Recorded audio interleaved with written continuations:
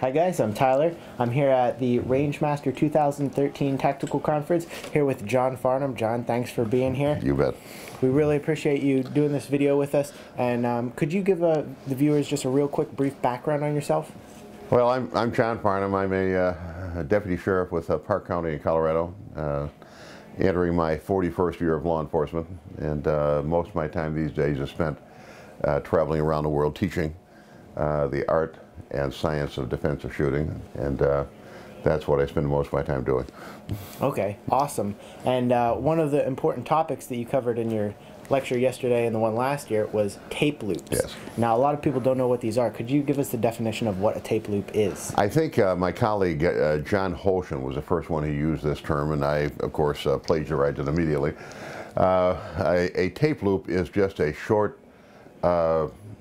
uh, uh, collection of words you can use uh, in a stressful circumstance that you can practice ahead of time. Uh, the idea is you can communicate an idea clearly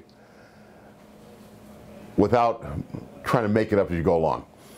Uh, that is, uh, you, you've got the tape loop ready to go, you've practiced it before, you can uh, enunciate it uh, and be understood by both uh, suspects and witnesses alike rather than trying to, uh, as I say, uh, make it up as you go along and have it come out garbled or not be understood or not say what you planned on saying or let slip something you didn't want to say, like a racial epithet or something like that, that uh, we don't recommend having as part of your vocabulary, but right. you don't want that stuff to slip out. It's, uh, it, uh, in most cases, is not going to be helpful. Right, and it's it's real important to practice these because, like you said, under stress you can be slurring your words or. Indeed, uh, in our courses, uh, the way I sometimes put it is that uh, there's more to uh, making breakfast than just learning how to run a waffle iron. Uh, running a waffle iron, of course, is an important part of making breakfast, but there, there's more to, to getting breakfast made and served than just operating a waffle iron. And everybody wants to come to these courses and shoot guns, and of course we shoot guns. But there's other things. There's interaction with the criminal justice system. There is interaction with potential suspects. Uh, and tape loops are part of that. And they have to be practiced just as we practice shooting, just as we practice all other psychomotor skills. This has to be practiced and then integrated into uh, our entire uh, repertoire. Exactly.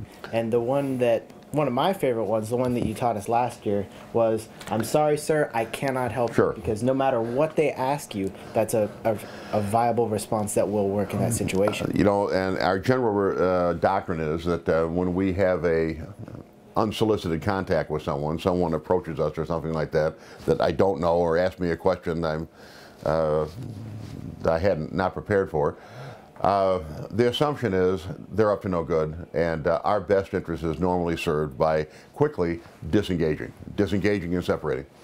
Uh, our general, generally, our best interest is not served by becoming involved in a conversation. Uh, so uh, what we're going to do in most cases is politely dismiss them. I'm going to say in so many words, you're dismissed. I have no interest in any conversation with you. Well, instead of putting it that way, uh, the tape loop is, I'm sorry, sir, I can't help you. Uh, no matter what the, the uh, initiation was. I'm lost, I need five bucks, uh, I lost my wallet, uh, you can think of a thousand things that uh, come-ons people use. The answer is always the same. I'm sorry, sir, I can't help you. As you uh, separate and disengage. Right, so uh, dismiss being the key word. Yes. Uh, however, uh, when you don't practice something like that, it comes out, and you, you sound confused and, and disorganized, and that confusion uh, becomes evident to everyone and it actually stimulates uh, prey behavior. Uh, the prey behavior on the part of the predator is stimulated by, by people who think he thinks are confused right. and unable to make a decision. Uh, so when it comes right out, I'm sorry, sir, I can't help you. Uh, hopefully through his mind goes, uh oh, this guy's done this before. I better go pick on somebody else. Exactly, and it's a lot different when you're dealing with law enforcement. Um, so I guess the question is, what should the first thing be out of a person's mouth when the police get there after, say, a defensive shooting? Well, uh, when you've been involved in a, uh, a shooting, uh, uh, the police are going to arrive one way or another, and we the, the first thing we say, we greet police, uniformed police, uh, with this posture. We put your, your hands, make sure they can see the front of your hands. Uh, and uh, uh you're going to say, the first thing I recommend saying is something like, officers, thank God you're here. I'm the one who called. Uh, again, burglars don't say that uh, normally, and, and that, that is a good tape loop to introduce yourself.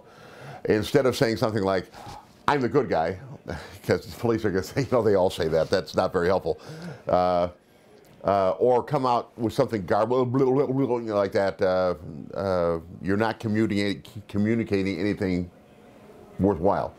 Uh, officers, thank God you're here. I'm the one who called. Uh, sets the stage, it, it, identifies you in the constellation of this circumstance, and gives officers some genuinely useful information and uh, makes it a lot less likely you're going to be shot by a police officer. Right. And then after that, what would you say, and more, more importantly, where do you suggest we stop talking? I suggest, uh, I don't suggest non-cooperation. I suggest smart cooperation. Uh, I warn my students that uh, uh becoming too verbal, the, the more you say, the more likely it is you'll say something incriminating, even though it sounds innocent to you.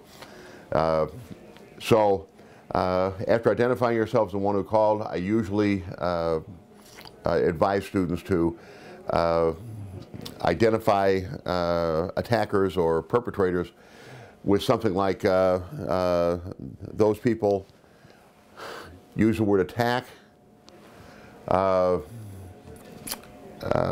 murder, in fear for my life.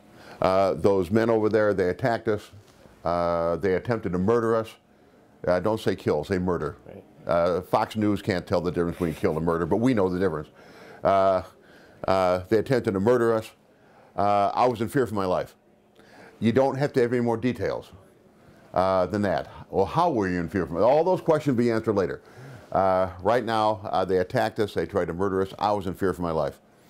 and then finally, you're going to say something like this. Officers, I'll be happy to answer all your questions as soon as my lawyer is here use the word lawyer or attorney. Uh, you, uh, uh, you have to inform the officers politely but firmly uh, that you don't want any conversation with them before your attorney is there. Now, as a practical matter, your attorney probably isn't going to show up unless he lives next door. Uh, but when you invoke your right to an attorney, we have to stop asking questions.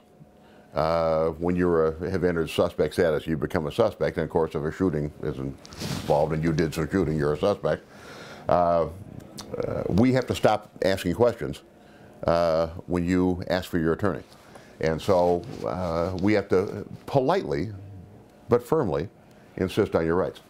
Uh, once again, it's not that we're never going to talk to the police, but we're not going to get into great detail right now because your emotional state is such that there's a good chance you're going to say something incriminating. And as police, uh, when you say something incriminating, I can't pretend I didn't hear it. Right. We are objective and unbiased investigators. Uh, if you want to talk yourself into a conviction, we're just going to write it down. And the only thing the court will ever hear is the version I wrote down. Okay, and plus the uh, police probably is probably being recorded also.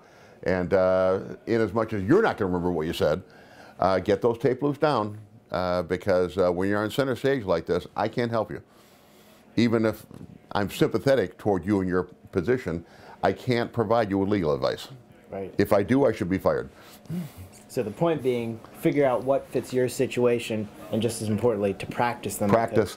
When you get to the range, practice these tape loops. Right. Uh, do role-playing drills uh, where you practice these tape loops, so there's some chance you're actually going to do this uh, when it really matters. Uh, when you have not practiced, uh, good chance you're going to fumble, bumble, and say something incriminating and really make a mess of things.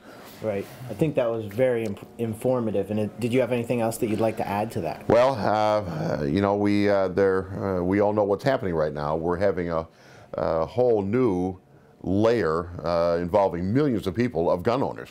Uh, people are buying guns and ammunition as fast, as fast, faster than it can be made. And uh, what concerns me is uh, I don't want to see a whole rash of accidents, and I don't want to see a whole rash of untrained people doing stupid things with guns. Uh, America doesn't need more idiots with guns. We have plenty of those. Uh, what we need is uh, good people armed and trained. Uh, I trust I don't have to tell you how to be a good person. I trust you know how to do that already. Now we have to apply that specifically to this art and this discipline. Uh, how do I run this gun? How do I, as I said earlier, how do I make breakfast? Uh, not just how do I run a waffle iron. Uh, how do I get all the skills I'm going to need uh, when I use this gun or, or uh, come close to use this gun for serious purposes? And that's what we do at DTI, but there are many other wonderful instructors, and they can all provide, provide you a good advice. So if you're one of our new gun owners out there, your job has just begun. You need to get training. Uh, you need to know what to do.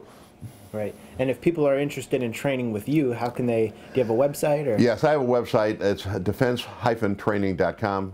Defense-training.com. You come to the website, uh, get a hold of me directly, and we'll get you in a course. Okay, great. Well, thanks again for being here. And remember, your responsibility to be ready for the fight never ends, in the words of James Yeager.